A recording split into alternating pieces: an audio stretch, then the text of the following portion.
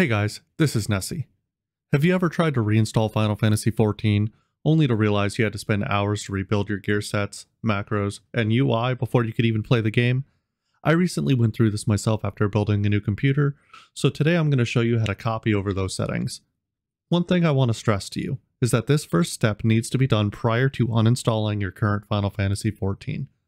If you have already uninstalled, wiped your hard drive, thrown your PC out a window, etc., there's nothing left for you to do but to take the time to set everything back up.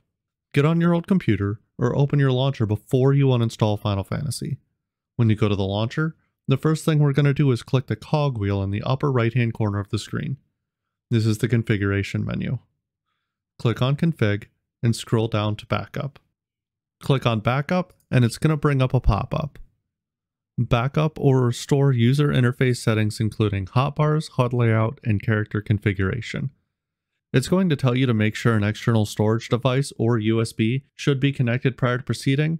This is not necessary unless you want to save the config file we're going to make directly to an external drive. You can save this file anywhere, just make sure you save it to a place you can easily find. Click on backup and it will bring up a save window. Do not change the file name. Pick the location you want to save the backup file and click save. This will bring up a confirmation window. Click OK and it will tell you backup successful. Click OK and this step is done. Now you can see if I open up my documents folder, the .fea file is there. If you're transferring your files to a new computer, you can copy this onto a USB drive if you did not do that when you saved the file. If you're uninstalling Final Fantasy XIV, you are okay to do so now. If you're finding this video helpful, hit the like button so it can be shared with more people. Once Final Fantasy is finished with its fresh install, open the launcher back up again, and go back to config. Scroll back down to backup and click on it. This time we are first going to make sure we uncheck do not overwrite older data. If we leave this checked, it will not overwrite the current fresh settings that were just installed, and there will be no change to your character data.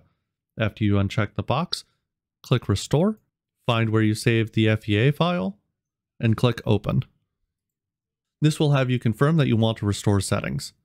Click OK, and it will tell you settings successfully restored. Now you can log into the game as normal, and all of your macros, gear sets, and UI customization will be present. Let me know in the comments if I missed anything.